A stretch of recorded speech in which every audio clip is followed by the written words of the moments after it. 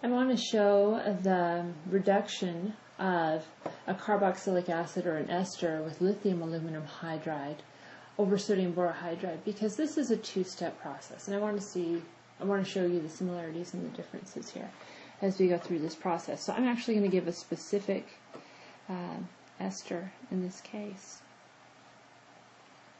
and talk about what is happening and why it is happening.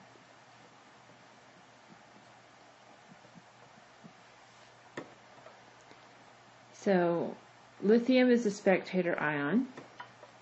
And then we have our aluminum hydride.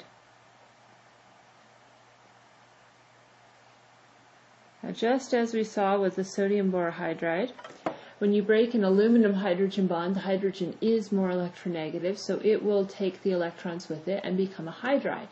And the carbonyl carbon here is positive in terms of its oxidation number, so it will act as an electron pair acceptor. It will be your electrophile.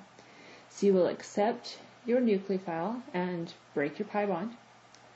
And as that happens, oxygen will become an electron pair donor and donate electrons to the aluminum.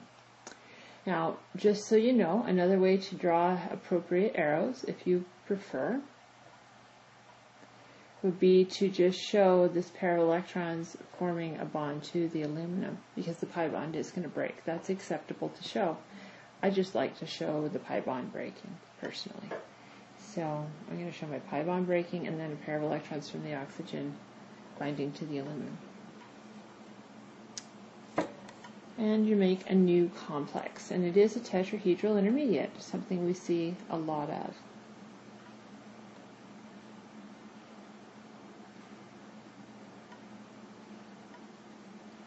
I'm going to draw this slightly different, maybe, than, um, I'm going to draw it in two different ways, I think.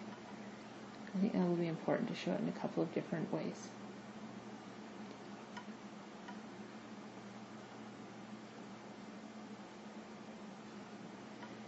This is the most commonly drawn way of drawing this complex. Um, one other thing you should be aware of is that aluminum and oxygen do not really truly form a polar covalent bond. It's more of an ionic bond.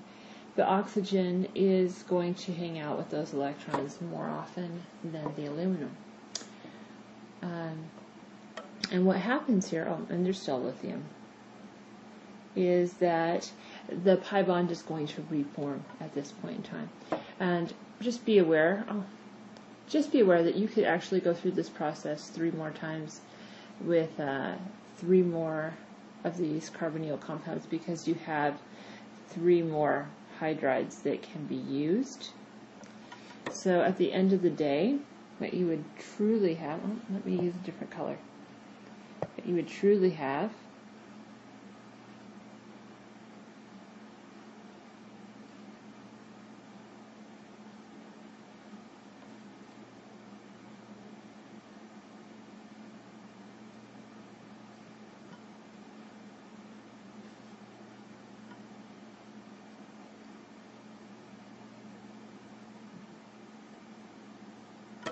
is this. Okay. Where R is this. This is what is equal to the R groups that you're seeing here. That's what they are. So you've got four of these around the aluminum. Now, as I was mentioning a moment ago, that aluminum oxygen bond is polarized toward the oxygen, and it will use it to reform the carbon oxygen bond uh, the double bond here. Now, carbon cannot have 10 electrons, and so something's going to have to go. Normally, you would not have a good leaving group here, but in this case, you do, because this aluminum complex is actually a stronger base than just kicking out the alkoxide. And this is why esters do this, this is why carboxylic acids do this, is because it is a strong enough reducing agent. Um, and the reason it's a strong enough reducing agent is because you can kick out a weaker base and that's why this actually occurs. So basically what we've done is we've created an aldehyde from the first round of this reaction.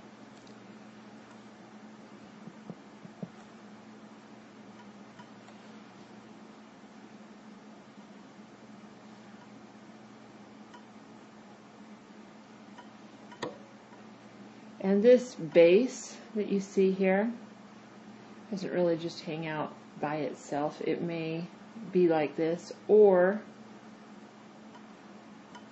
you may also see it bound up like this. This is also a possibility. Okay, so this is actually the more likely possibility down here on the bottom so that you can get rid of the other three R groups attached to the aluminum in the same fashion. But the point is here you have created an aldehyde by that first reduction. So it's going to continue with this process further with some more aluminum hydride in some form. It may be one of these that has some R groups on it. It may just have hydrogens on it. It doesn't really matter, but the point is there's a hydride available. So, if you have your complex,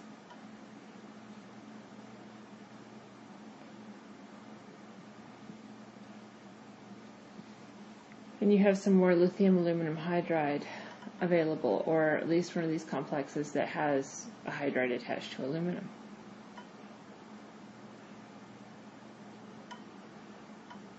As we saw before, the hydride is the more electronegative of the two. It will act as the nucleophile and add to the carbonyl carbon, which is our electrophile. You'll break the pi bond because it's the weakest of the bonds, and you can't have more than four bonds to a carbon.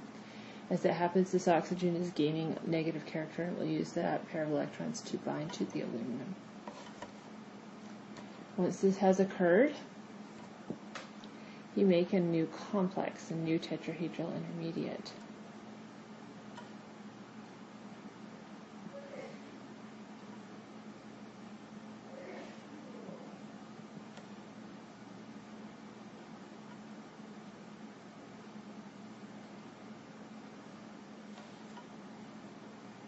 Now this could go through the same process three more times because you have three more hydrides here. By the way I've drawn it. Excuse me.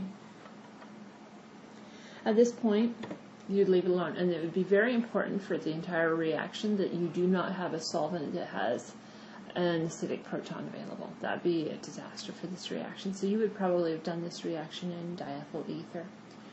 After the reaction has had time to complete, you would add water and you do this dropwise. You'd make sure that you do this very slowly. Oops, let me change my color.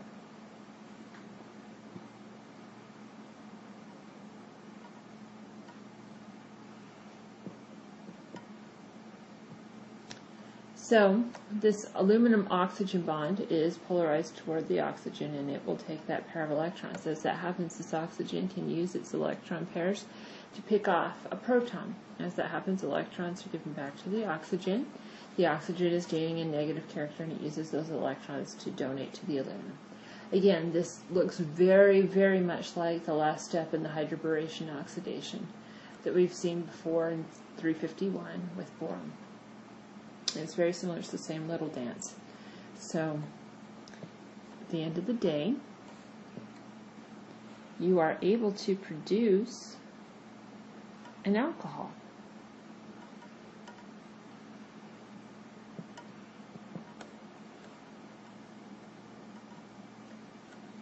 And you also produce, these R's may be hydrogens, they may be other groups. I'm not really entirely certain what they are at any point in the reaction. And that's not really important.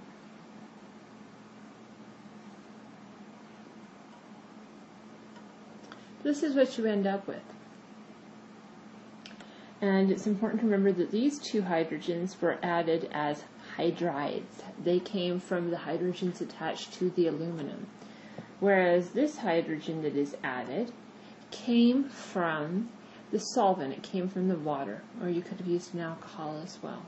And the reason again that this goes in the way it does is that the conjugate bases you are producing, either a hydroxide or an alkoxide, are weaker bases than a hydride. And so this is favorable acid-base chemistry, and that's why this actually occurs.